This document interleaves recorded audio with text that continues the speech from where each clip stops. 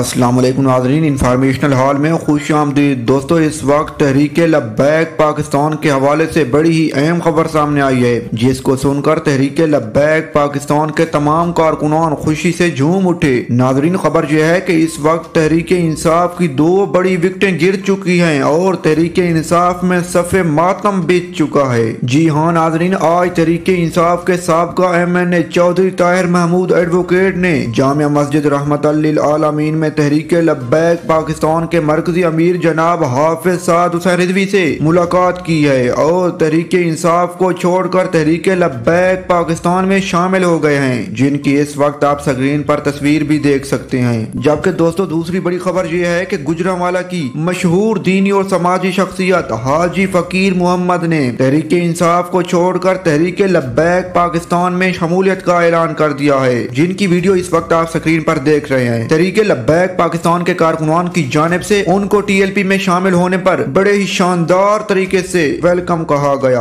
और उन पर फूलों की पत्तियां भी निछावर की गयी